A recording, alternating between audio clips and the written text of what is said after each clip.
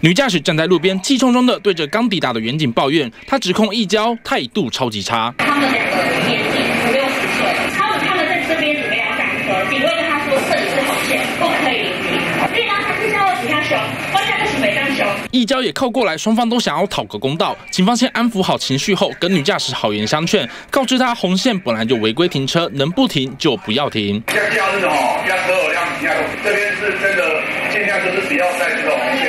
事发就在高雄中华路上一间知名家具店外面。这名女驾驶当时开车停在红线，准备要再买完东西的父母。一交看到后也靠过来说这里不能停车。虽然女车主千拜托万拜托，但一交就是要女车主现在离开，双方因此发生冲突。警方到场后，女驾驶解释事情经过，还指控一交的指挥棒差点挥到自己。警方也回复女驾驶，红线本来就不能停，不开走的话就要拖掉走。女驾驶才死心离开现场。女子的部分，他们是认为说临停是没有关系的。对这个一交大小声的部分，因为它还没有到涉及公然侮辱的部分，所以双方就是都没有提出任何法律上的行动。为了红线能不能临停，女驾驶跟一交互相杠上，警方出面主持公道，澄清红线禁止停车，还给被控诉的一交一个公道，也让女车主了解到贪图方便乱停车是不被允许的。记者吴国珍、李晨燕高雄报道。